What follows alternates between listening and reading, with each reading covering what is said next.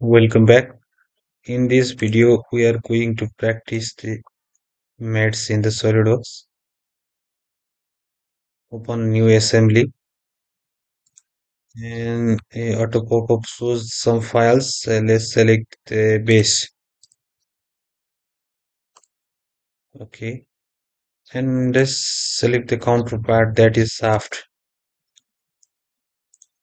Now make the background plane white for better view.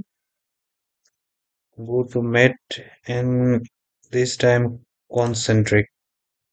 For concentric mate you need a cylindrical surfaces or holes or shaft like this. Select the surface cylindrical surface and this inner surface. This shows the concentric mate. Now go to front plane and see and try to move it. Try to move up and down it will not move.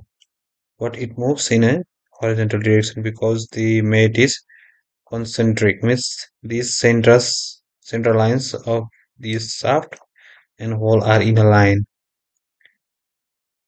Now you can do it in another way. Just delete this mate.